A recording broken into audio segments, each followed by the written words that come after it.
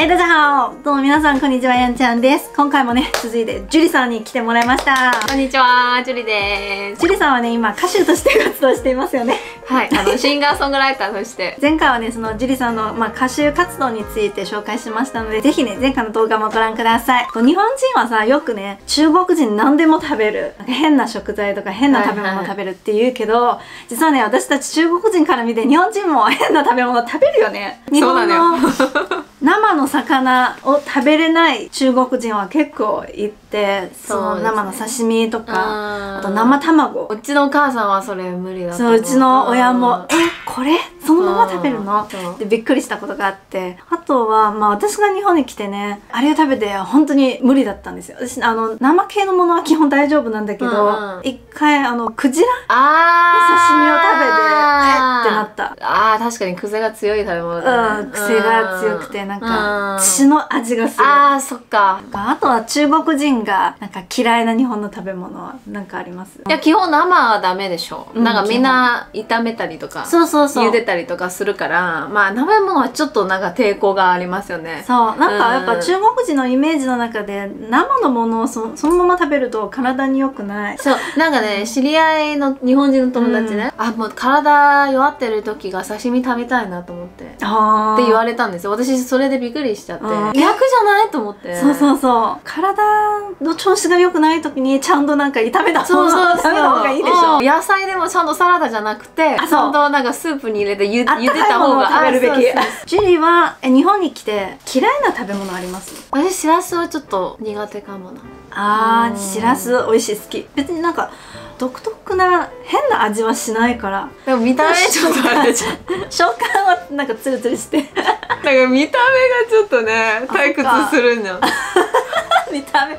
じゃああれは？もんじゃ焼き。あれの見た目一番やばいじゃんいやでもねもんじゃ焼き、私うちで作るもん基本キャベツとか、うん。もやしとかで。それはもう全然しらすはもうなんだろう魚の死体を食べてるって感じするんだよ。あ分かった。死んでる魚がこういっぱい。そういっぱい。目もちゃんんとついて。この間しらす丼食べた時にあ私こんなにいっぱいの命を食べてるなって思った、ね。そうなんかちゃんと完食しないとねそのこんな死んだ魚に申し訳ないと思った。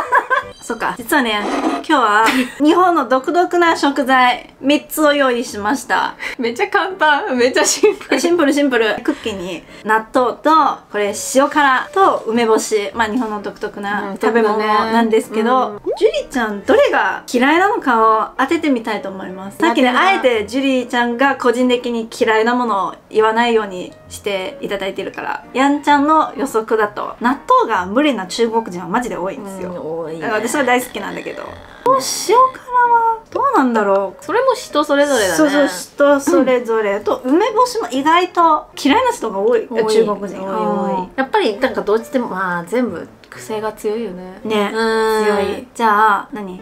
演演技をする？まあ一応女優さんではないので。あれやってほしい。日本の食レポ風に。じゃあ納豆から。うん美味しい。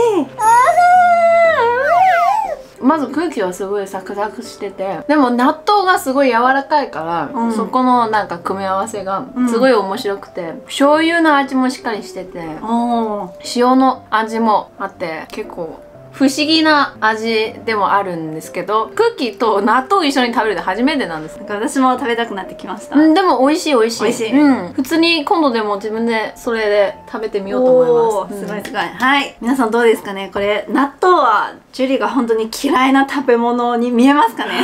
どうなんでしょう？はいじゃあ次はこれは塩辛ですね。塩辛です、お。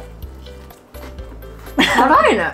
辛い、うんおお美味しい美味しい。なんか不思議な辛さがありますよね。塩辛だけ食べてるって感じ。なんかこの空気あんまりなんか存在感が薄い。存在感がないんですよへねー。うん。でも塩辛だけでも十分美味しい。これはどうですかね？さっきの反応と比べて若干テンション落ちてる。でもこれ確かにビール飲みたくなるよね。あー。ビールかハイボールか。ハイボール。はい。なんかお酒合いそうだね。じゃあ最後のこれ。最後の。でっか。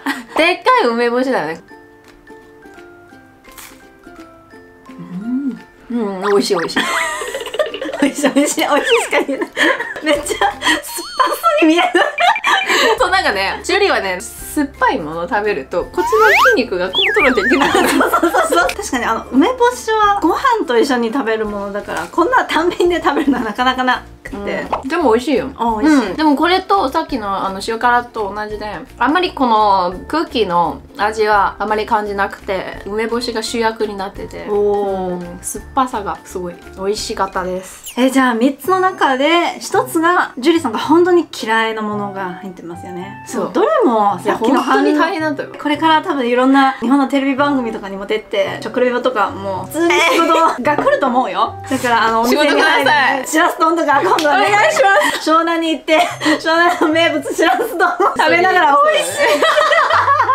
でも今日はすごくなんか良かった。本当に分からなかった。皆さんどう思いますか？ぜひねまずコメントで教えてください。今あのロンジン茶飲んでます。中国のお茶です。口直してえー、でもさっきのこの3つの中は納豆の演技は一番美味しそうでも一発だから頑張ったの。おそ梅干しは最後はね目がもう とにかくここら辺あ美味しい美味しい。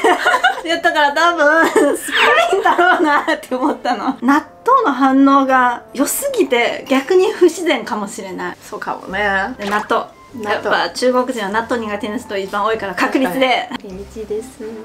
ブブ？ブブ。あブブ。納豆大好きなんですよ。実は毎日食べてる。えじゃあ納豆は割と本当のリアクション。そうそうそう本当のリアクションで。えじゃあ塩辛と梅干し。でもどっちでもなんかそうそうどっちでも。微妙だったよね。微妙。あの塩辛の反応が一番薄かったの。分かった。もしかしたら塩辛？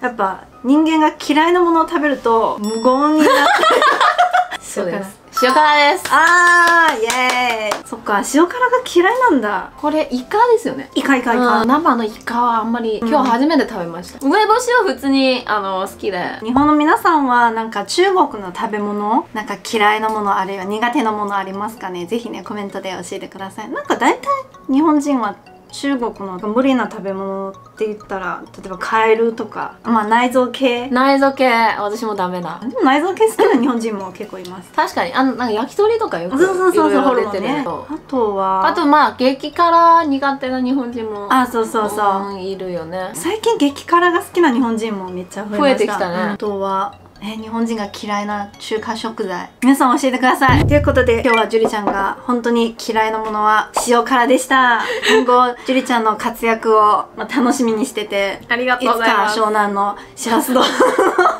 ロケ頑張ってください。見たいですね。テレビで見たいわ。じゃあ最後に今日初めてこの動画を見る方にあジュリちゃんの活動をちょっと簡単に説明お願いします。えっ、とジュリです。シンガーソングライターとして今日本で頑張っています。11月新しい曲リリースしますのでぜひあのチェックしてみてください。はい皆さんぜひチェックしてみてね。じゃあ今日もありがとうございました。ありがとうございました。はいバイバイ。